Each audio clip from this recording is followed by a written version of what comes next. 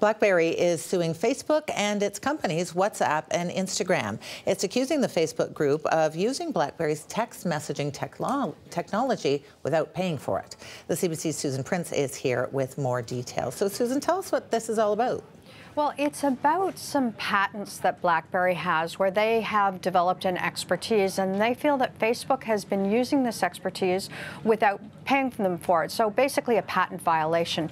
And the areas that the, the, the lawsuit addresses four specific areas. And while they might not mean much to you or me while we're using our smartphones, they're really the things that make the smartphones work seamlessly. And the, the suit looks at four specific areas.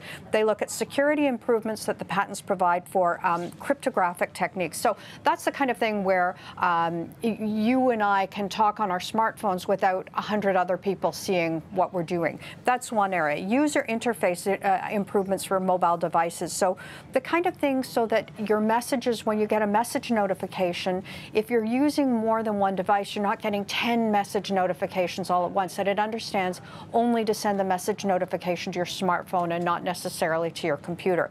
That's one area. Uh, combining mobile gaming, gaming and messaging. More and more gaming is done in real time, and so messaging becomes an important component of that. And finally, battery efficient status updates for mobile devices. As you might be aware when you've checked your mobile devices at an airport and you see your, your battery run down really quickly, and then you start looking for a place to plug your smartphone in.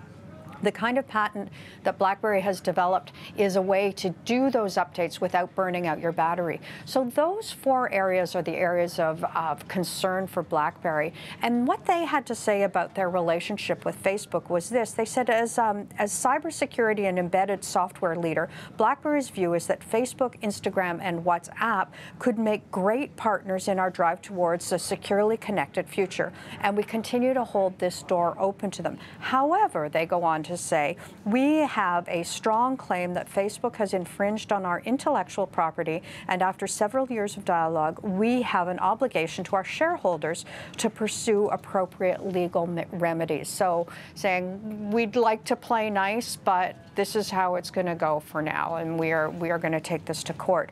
The flip side of it was uh, Facebook came out with a response after this lawsuit had been filed, and here's what Facebook had to say. They said BlackBerry's suit sadly reflects the current state of its messaging business, having abandoned its efforts to innovate. BlackBerry is now looking to tax innovation of others. We intend to fight. So clearly, Diane, what we're looking at is the early stages of uh, resolving this dust up. And, and what it comes down to is BlackBerry feels that it is owed a royalty for the patents that Facebook is using to make their messaging platform the one that people like to use. Okay, thank you so much, Susan. Thanks, Diane.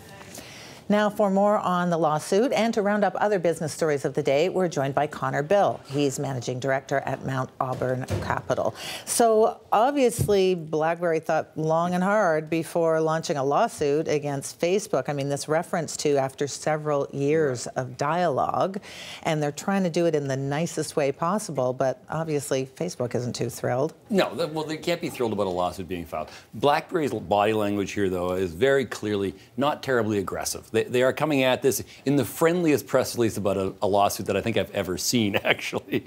Um, so it's fascinating from that perspective. I think that reflects BlackBerry's move from being a hardware business to being a software business. And if we go step back a minute, you know, 10 years ago, BlackBerry Messenger was the messaging application. It really drove all the innovation here. They have a very strong intellectual you know, property portfolio. Their IP is just world class because they were the first to invent a lot of the things that we now take for granted in messaging. And th those are being used in many different applications is their argument in the uh, in the lawsuit I think when you get right down to it they're saying we created this incredible technology everybody's borrowed it we'd like to get paid for it um, that does reflect the evolution of BlackBerry's business. Um, I think Facebook said, you know, that the, it reflects the state of their messaging business and they're trying to tax other people's technology.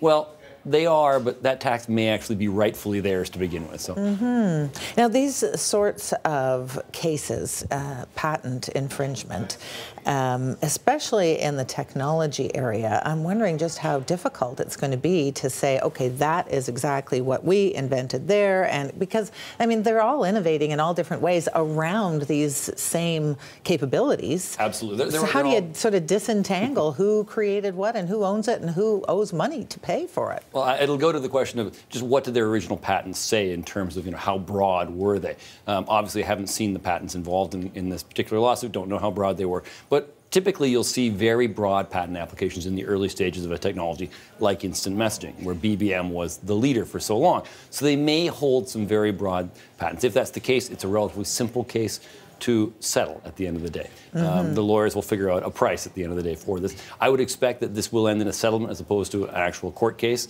You'll see probably Facebook go the same way Qualcomm went last year, where they ended up paying BlackBerry almost a billion dollars to settle an intellectual patent infringement. Yeah. Oh, that's interesting. Yeah. Remind us. Are there other cases where BlackBerry has gone after people and made money? BlackBerry filed, I think, four lawsuits last year against large chip manufacturers, and and one, obviously, in the Qualcomm case, it's still pursuing a few others. It's reached settlements. It's clearly looking to just get recognized for the intellectual property that they think they rightfully hold. And I can't believe that Facebook wouldn't go the same way at the end of the day, since really, if you really build a, messaging platform here, it probably did borrow something from BlackBerry along the way.